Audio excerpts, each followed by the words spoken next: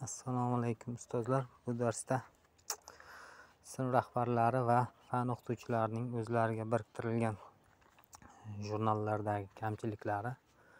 Sinf rahbarlarining sinfiga dars o'tadigan o'qituvchilarning dars qaysi darsdan to'ldirilmaganligi jurnalni qanday aniqlash mumkinligi haqida gaplashamiz. Buning uchun kundalik com ilovasidan kiramiz. Va mana oddiy o'qituvchini parol loginidan kiraman. Adminni parol login emas boshqa hamma o'qituvchilar xuddi shunday o'zini kamchiliklarini aniqlashi mumkin. Tizimga kirish tugmasini bosamiz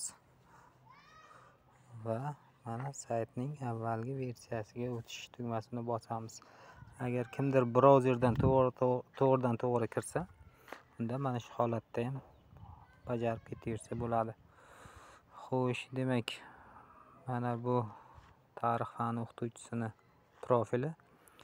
Mana tepada ta'lim tagida ish stoli mening maktabim mening sahifam va hisobotlar. Hisobotlar bo'limini tanlaymiz.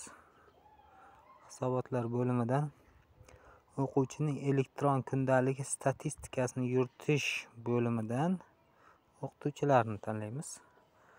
Bu yerda biz o'zimizga biriktirilgan jurnallarni ko'rishimiz mumkin. Bu fan o'qituvchilari uchun demak birinchi sanani to'g'irlab olamiz. Demak vaqt oralig'ida mana bugungi sanani qo'yamiz. Birinchi avgustdan bugungacha bo'lgan jurnaldagi o'zgarishlarni ko'rsatadi. Va o'qituvchilar degan bo'limdan biz o'zimizni topishimiz mumkin. Xohlasak xohlagan birorta o'qituvchini statistikasini ko'rishimiz mumkin. Agar bu qiziq bo'lsa. Mana xolmurodov jamshidni tanlayman. Va hisobotni qurish tugmasini bosamiz. Mana hisobot qurildi. Sinflar jamshid dars o'tadigan sinflar va mana qaysi fanlardan dars o'tishi. Ishtirokchilar butun sinf mana bittasida umum sinf turibdi. Bu o'ninchi a sinf yakka tartib o'quvchisi bo'lganligi uchun unda umum sinf ko'rinadi. Agar yakka tartibga ham darsi bo'lganda yakka tartib degan bo'lim ham paydo bo'lardi.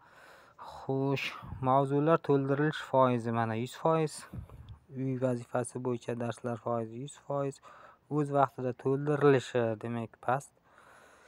Rejalashtirish foizi ham 100%, jurnalni yuritish ham demak hamma jurnallarni yuritgan, mana hamma jurnallarga baho qo'yib bo'lgan 100% hammasi. Faqat jurnallarni o'z vaqtida to'ldirsa bo'ldi. Hamma ko'rsatkichi 100 bo'ladi. Endi jamshidni demak dars o'tadigan sinflardagi jurnallar hammasi to'g'ri yuritilgan.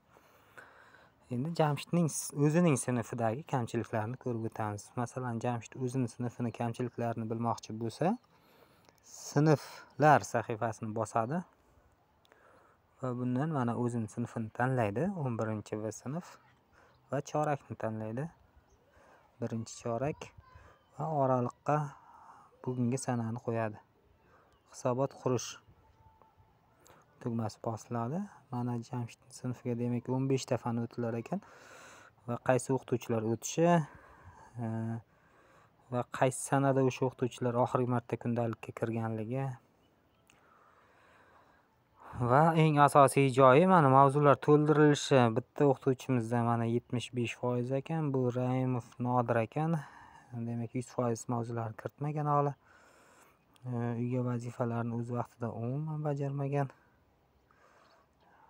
Xo'p, rejalashtirish foizi ham sakson uch uy vazifalarini mana jurnalni yuritishi ham yetmish besh foiz.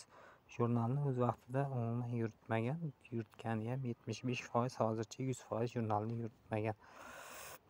Va shunda xuddi shunday yana bitta o'qituvchi bor ekan yo'lligova muhabbat opa. Bu hali shu vaqtgacha jurnalga baho qo'ymagan. Ish rejalarida uy vazifalarini yuz foiz kiritgan.